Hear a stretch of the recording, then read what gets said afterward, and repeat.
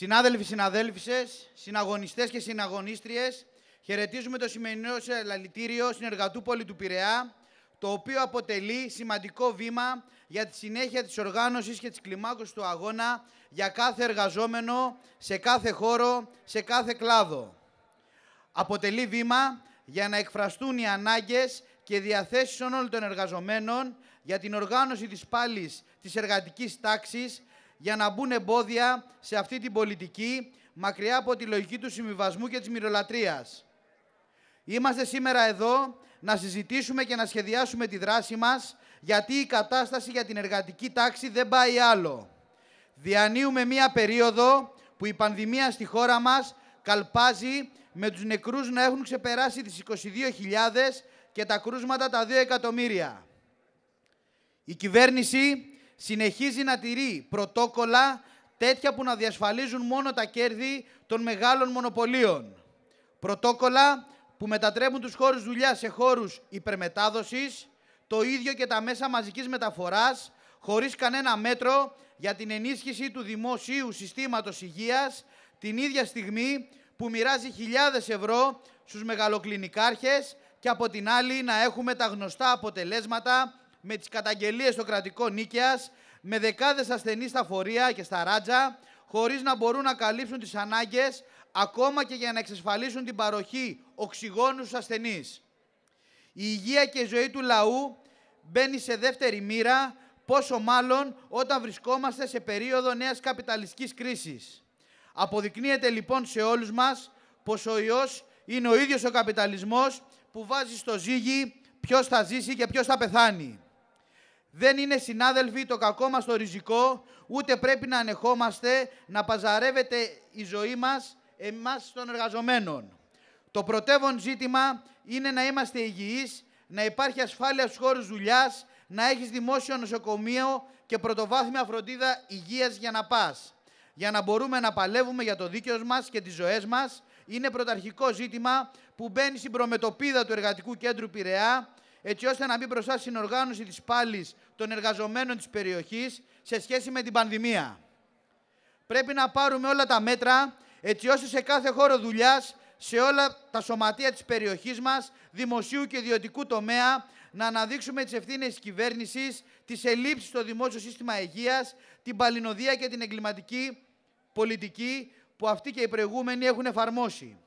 Μπροστά σε αυτή την κατάσταση, τα σωματεία του Πειραιά με το Εργατικό Κέντρο Πειραιά Εργοανωτή παίρνουμε την κατάσταση στα χέρια μας σε κάθε χώρο δουλειάς, συγγνώμη, σε όλα τα σωματεία της περιοχής. Δεν αφήνουμε κανέναν μόνο του απέναντι σε αυτή την πολιτική. Δεν έχουμε να περιμένουμε από κανέναν τίποτα. Εδώ, στο μεγαλύτερο λιμάνι της χώρας, πρέπει να ενώσουμε με αφετερία τη σημερινή μας συγκέντρωση τις φωνές των εργατών της θάλασσας και της ταιριάς, στο λιμάνι, στη ζώνη, στα γιαπιά, στα τουριστικά, σε ναυτιλιακές, των υγειονομικών, των εκπαιδευτικών άλλων κλάδων, της νεολαίας, ενάντια σε αυτή την πολιτική που μας αφήνει ανοχήρωτους μπροστά στην πανδημία, την ακρίβεια, με ξυλωμένα εργασιακά δικαιώματα, έρμεο, συνεπίδεση κυβέρνησης και εργοδοσίας. Συνάδελφοι, δεν μπορούμε να, να δούμε ξεκομμένα από την πανδημία το ζήτημα της ακρίβειας και των τεράστιων ανατιμήσεων που υπάρχουν στην ενέργεια, τα τρόφιμα, τα ενίκια και λοιπά που οδηγούν σε μια ακόμα μεγαλύτερη φτώχεια, ανέχεια και εξαθλίωση. Είναι ενδεικτικό ότι μέσα στο 2021 η μέση τιμή της μεγαβατόρας ηλεκτρικής ενέργειας δεκαπλασιάστηκε από 36 ευρώ το 20 σε 316 ευρώ το Νοέμβριο του 2021. Αντίστοιχες αυξήσεις στο πετρέλαιο και ιδιαίτερα στο φυσικό αέριο, που μέσα στο 2021 η τιμή του εκτινάχθηκε 760%. Σημαντικές αυξήσεις υπάρχουν και σε προϊόντα ευρείας κατανάλωσης έως και 20% και οι ανατιμήσεις αυτές φαίνεται ότι θα μειώσουν το λαϊκό εισόδημα περίπου 1.800 με 2.000 ευρώ σε ετήσιο επίπεδο. Η ενεργειακή μετάβαση έχει τεράστιο κόστος και θυσίες για το λαό, είναι αποτέλεσμα της πολιτικής ενεργειακής απελευθέρωσης και του πράσινου deal που στηρίζουν όλα τα αστικά κόμματα με αποτέλεσμα τα βάρη και ακρίβεια να πέφτουν στις πλάτες της λαϊκής οικογένειας. Ο νόμος Χατζηδάκη, χρήσιμο εργαλείο για την κυβέρνηση και την εργοδοσία, θέλει να βάλει τα φόμπλακα στη λαϊκή δυσαρέσκεια και δίνει αέρα στην εργοδοσία να ξαμολύσει τους μηχανισμούς της για να σπάσει τις απεργίες είτε με τους κατασταλτικούς μηχανισμούς του αστικού κράτους, είτε με τους απεργοσπαστικούς. Διαχρονικά, κάθε κυβέρνηση, κάνοντας ακόμα πιο αντιδραστικό το θεσμικό πλαίσιο επέναντι στην απεργία, είτε δυσκολεύοντας την κήρυξή της, είτε διευκολύνοντας την καταστολή της από τα δικαστήρια. Δεν πρέπει να ξεχνάμε ότι 9 στις 10 απεργίες η δικαιοσύνη της βγάζει παράνομες, με πρόσφατο παράδειγμα τη μεγάλη επταέμερη απεργία στην Κόσκο, Όμως, συνάδελφοι, εδώ έχουμε καθαρό και ξέρουμε τι πρέπει να κάνουμε. Ότι όταν πάρουμε την κατάσταση στα χέρια μας, δεν υπάρχουν άπαρτα κάστρα και ακυρώνουμε στην πράξη τους νόμους τους.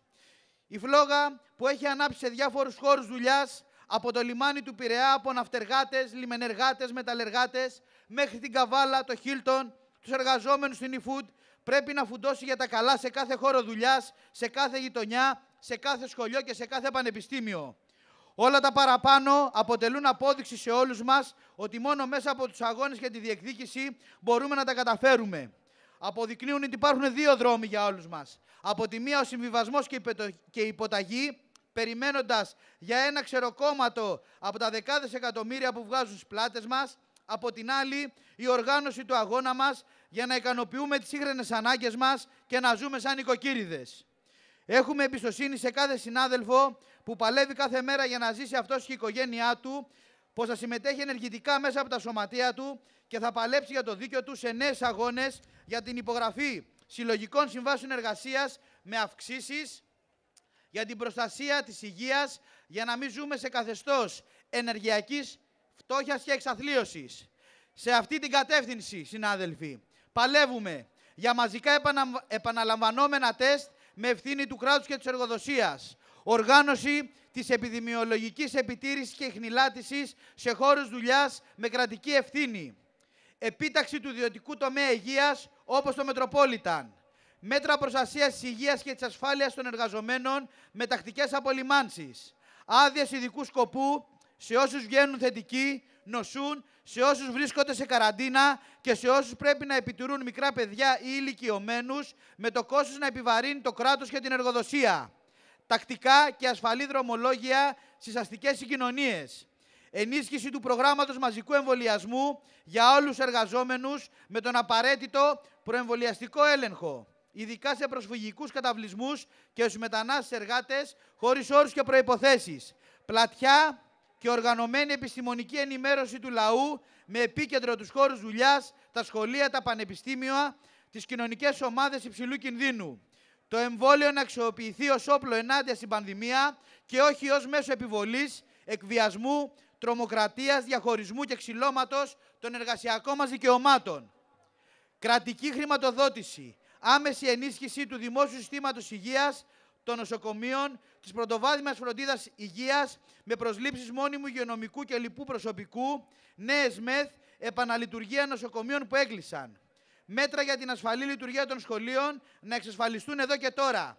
Κατάλληλες αίθουσες, να αραιώσουν οι μαθητές τη τάξη, να εξασφαλιστεί καθαριότητα στα σχολιά, να γίνουν προσλήψεις εκπαιδευτικών με βάση τα πραγματικά κενά. Καμία αύξηση ατιμολόγια της θέρμανσης και της τηλεθέρμανσης. Φθηνό ρεύμα και θέρμανση για το λαό. Μείωση της τιμής του ρεύματος κατά 50% και κατάργηση των χαρατσιών για τα εργατικά λαϊκά νοικοκυριά. Καμία διακοπή ρεύματος σε λαϊκές κατοικίες επέκταση σε όλους τους οικισμούς του δικτύου τηλεθέρμανσης, πρόσληψη επαρκούς μόνιμου προσωπικού για τη λειτουργία και συντήρησή του. Να μην πληρώσει ο λαός τις συνέπειες της απολιγνητοποίησης, όχι στο κλείσιμο των λιγνητικών μονάδων και ορυχείων, μέτρα τώρα για την προστασία του περιβάλλοντος. Να διασφαλιστούν τα δικαιώματα των εργαζομένων στον κλάδο της ενέργειας, χωρίς μειώσεις μισθών, χωρίς απολύσεις. Αυξήσεις σε μισθούς, συντάξεις, κοινωνικές παροχές υπογραφή συλλογικών συμβάσεων εργασίας σε κάθε χώρο και κλάδο δουλειάς με αυξήσεις και αύξηση του κατώτατου μισθού στα 751. Συνάδελφοι, πρέπει να δώσουμε όλες μας τις δυνάμεις και μπορούμε και θα τα καταφέρουμε. Καλή συνέχεια και καλή δύναμη σε όλους μας. Ευχαριστώ πολύ.